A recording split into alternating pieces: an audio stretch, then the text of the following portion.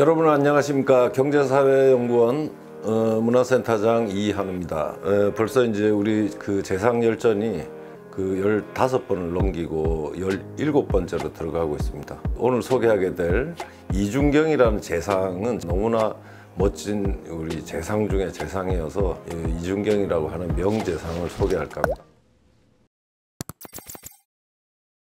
이준경은 명종 시대를 거치면서 이제 성장을 했어요. 근데 사실 명종 시대라고 하는 것은 명종이 누가 봐도 그 암군이잖아요. 그 암군 시대를 잘 또 견디고 근데 그런 시대는 자기 몸에 때나 흙이 묻지 않을 수가 없습니다. 어, 그럼에도 불구하고 자기는 그런 욕을 좀 먹으면서도 그런 시대를 건너게 해주는 그런 인물이 저는 큰 인물이 아닌가 그런 생각을 합니다. 그 원래 이준경은 그 광주이씨 후손입니다. 막강한 집안이었고 할아버지 이세자도 사실 이제 드라마에 자주 등장을 합니다. 이 이세자가 누구냐 그러면 그 연산군의 어머니 즉 윤 씨한테 사약을 들고 갔던 그래서 이제 뒤에 결국 연산군이 이세자에 대해서 원망을 품게 되는 이제 그런 일이 뒤에 생기게 되고요. 불행하게도 이준경이 여섯 살 때 그때가 바로 연산군 10년 그 갑자사화가 일어났을 때입니다. 이때 바로 할아버지 이세자 아버지 이수정은 바로 죽게 되죠. 이준경은 형님 이윤경하고 같이 괴산으로 이렇게 유배를 가게 됩니다. 근데 이제 그 실록을 보면 뭐라고 이준경을 표현하고 있냐면 이준경은 어릴 때부터 뜻이 높고 비범하였으며 체격이 웅대하여 많은 선비들 사이에 이름이 있었다 이렇게 돼 있는데 그 이준경은 그 중종 반정이 일어나고 나서 이제 풀려납니다. 유배에서 풀려나고 나서 한동안 그 이 벼슬의 뜻을 두지는 않았습니다. 그래서 거의 뭐 서른 넘어서 문과에 급제를 하게 됩니다. 얼마 후에 저 명종시대 초에 또 을묘사화가 일어나는 바람에 살인들을 또 구원하다가 그 파직돼 가지고 또 5년 동안 이제 숨어 지냅니다. 근데 여기서 중요한 게 뭐냐면 이준경은 아까 말씀드린 것처럼 처음부터 끝까지 이 훈구 집안이에요. 훈구 집안인데 그 할아버지 아버지의 불행을 겪고 이러면서 이준경은 상당히 유연한 생각을 갖게 됩니다. 그래서 결국 이 살인도 보호하고 또 훈구 세력의 어떤 긍정적 기능도 함께 이렇게 유지하려고 하는 이런 이제 스탠스를 취하게 되죠. 보통 일반적으로는 이제 그런 그 권간이라든가 외척이라든가 이런 세력하고 그 결탁을 해서 이제 이런 고위직까지 올라가는 일이 대부분인데 실록을 보면 이준경은 그렇지는 않습니다. 이준경은 명종 초에 그 신하들이 문정왕후한테 알리지도 않고 그 윤원영의 형 어, 윤원로라고 하는 그냥 일방적으로 제거를 하려고 하니까 당시에 이제 서울 부시장쯤 됐던 한성부 우윤으로 있던 이준경이 아니 어떻게 대비가 계시는데 어, 말씀도 드리지 않고 마음대로 그 동기를 주사를 할 수 있는가 뭐 이렇게 해서 그 논의를 중단시켰습니다. 아마 그 일이 아니었으면 이준경도 그 을사사화의 희생이 될 수도 있었는데 어, 그렇게 하지 않았던 거죠. 그래서 실록에서도 보면 그 이렇게 기록하고 있습니다. 준경은 조정에서 꼿꼿하게 집정하며 끝내 굽히는 일이 없었다. 뭐 그거죠. 그러니까 이거는 사실은 그 실권자 윤원영으로서도 내칠 수도 없고 또 마음대로 막 이렇게 부릴 수도 없는 아주 그 요즘식으로 표현하면 저는 대단한 카리스마의 소유자였다고 생각을 합니다. 특히 제가 이 이준경이라는 사람이 정말 대단하다고 생각하는 건 뭐냐면 이 영의정으로 있을 때 그 명종이 30대 초반의 나이로 갑자기 이제 병으로 죽게 됩니다. 결국은 이제 왕실의 어떤 한 사람을 골라야 되는데 그 정권이 신하 인 이준경 손에 이제 달려 있었던 겁니다. 그 명종 뒤에 가장 뛰어난 사람이 누구냐 했을 때 여러 가지를 비교한 결과 이제 선조, 훗날 이제 선조가 바로 그 뽑히게 돼가지고 임금에 오르게 됩니다. 양면성이 있는데 그 선조를 이어서 올림으로써 이제 이 조선 왕실이 다시 명맥을 이어갑니다. 굉장히 드물죠. 무슨 이제 별난이라든가 정변을 통해서가 아니고 이 신하가 임금을 고르게 되는 그 일을 이준경이라는 사람이 해내게 됩니다. 폭정시대가 이제 끝이 났기 때문에 젊은 신하들은 김효사와 을사사화로 인해서 피해를 입고 유배를 가 있던 사람들을 바로 선조 1년에 이 이준경이 재상으로서 주동이 돼가지고 모두 그 사람들의 관작과 명예를 회복시켜 줍니다.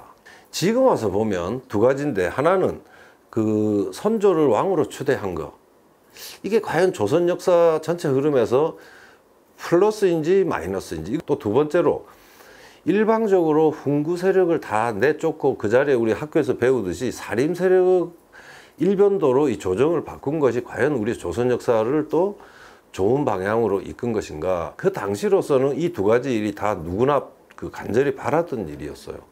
그리고 그 일이 그렇게 가능할 수 있었던 거, 어, 이거는 이준경이라고 하는 그 사심 없는 한 재상이 그 멀리 내다보고 강한 의지와 노련함으로 그걸 풀어냈기 때문에 저는 이제 그 가능하다고 생각을 합니다. 상당히 정통성이 약한 이제 어린 선조가 임금에 올랐고 왕실에서 도와줄 사람은 아무도 없고 이건 전적으로 이제 영의정 이준경 손에 이 조선의 운명이 달려 있는 상황이었습니다. 이때 그 이준경이 그 바로 이황을 우리가 아는 이황이 바로 선조의 스승인데요. 이황을 불러가지고 자 그 당신들이 그 살인들이 맨날 뭐 저 좋은 임금 길러내면 나라가 안정된다 했으니까 그럼 당신이 나보다 학문이 뛰어나니까 와서 신왕을 가리켜라. 어, 이렇게 해서 이제 예문관 대제하게 제수를 하게 되는데 이준경의 강청으로 인해 가지고 이황이 일단은 그 안동에서 한양으로 올라옵니다. 이제 그렇게 해서 초보 임금을 궤도에 올렸고 그게 결국 기반이 됐기 때문에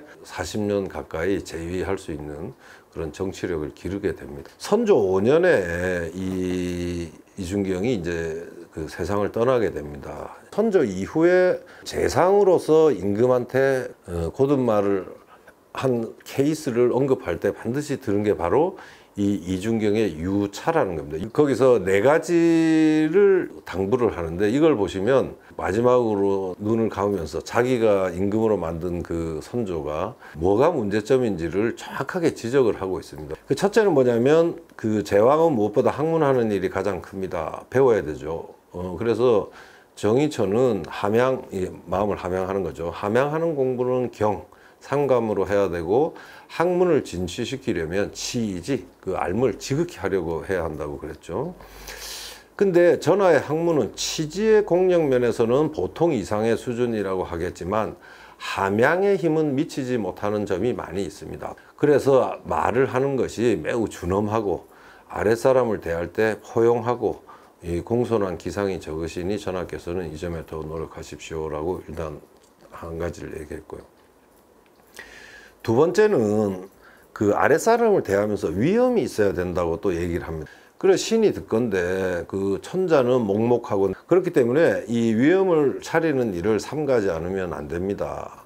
신하가 진언하는 경우에는 마땅히 너그러이 포용하여 예우해 주셔야 합니다.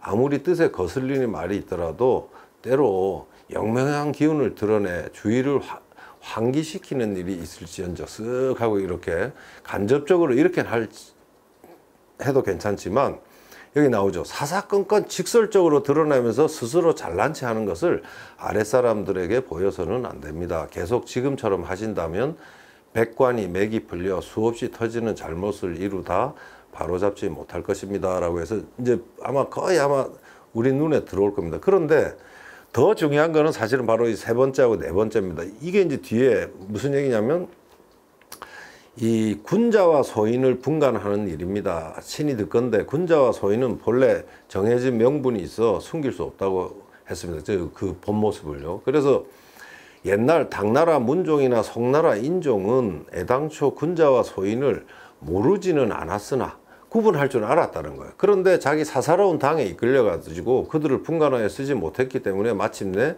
시비에 어두워져 조정이 불안정한 결과를 초래하였습니다. 참으로 군자라면 아무리 소인이 공격하는 일이 있더라도 뽑아 쓰면서 의심하지 말라는 거예요. 이게 또 강의예요. 참으로 소인이라면 비록 사사로운 정이 있더라도 단호히 물리쳐 멀리하여야 합니다. 이게 이것도 강의예요. 굿쌤. 그 이와 같이 한다면 어찌 그 중국 북송 시대 때 당파 싸움이 만연했던 하북 조정 같은 그런 어려움이 있겠습니까? 라고 얘기를 했고요. 그 다음 연장선에서 했던 말이 사사로운 붕당을 깨뜨려야 합니다. 신이 보건대 어느 날 사람들은 간혹 잘못된 행실이나 법에 어긋나는 일이 없는 사람이 있더라도 말 한마디가 자기 뜻에 맞지 않으면 배척하여 용납하지 않으며 그 행검 이걸 유의하지 않고 독서를 힘쓰지 않더라도 고담 대언으로 아까도 했던 말이죠. 그걸로 붕당을 맺는 자에 대해서는 고상한 풍치라고 여겨서 마침내 허위 풍조를 빚어내고 말았습니다. 이게 이제 요즘 말하는 바로 내로남불이 이제 바로 이거죠. 그래서 군자는 모두 조정해서 집정, 정치에 참여하게 하여 의심하지 말고 소인은 내쳐가지고 자기들끼리 어울리게 해야 하니 지금은 곧 전하께서 공정하게 듣고 두루 살펴 힘써 이 폐단을 없앨 때입니다. 그렇지 않으면 끝내는 반드시 국가가 구제하기 어려운 걱정거리가 될 것입니다라고 이제 얘기를 했습니다. 이게 사실 이제 하나하나가 다 이제 선조를 꿰뚫어 보고 두 번째는 그 당시 정치 상황 그 특히 이제 밑바닥에서 진행되고 있었던 군자 소인 붕당 예, 이런 문제를 지적을 했죠. 다른 신하가 이런 글을 올렸으면 자칫하면 죽음을 면치 못했겠지만 그 이준경이니까 이런 말이 가능했던 겁니다. 이 이준경이 어떤 의미에서 보면 당쟁이 있기 직전까지 했던 재상이기 때문에 그래도 이런 명재상이 될 수 있었던 거고 이 선조 이후에는 보면 그렇게 큰 재상이 나오지가 않습니다. 임금과 재상의 문제가 아니고 바로 당쟁이라고 하는 것이 만들어내는 정치 구조의 문제이기 때문에 예, 그거는 우리가 다음 시간에 그 집중적으로 살펴보도록 하겠습니다. 네, 오늘은 이중경에 대해서 여기까지 알아보도록 하겠습니다.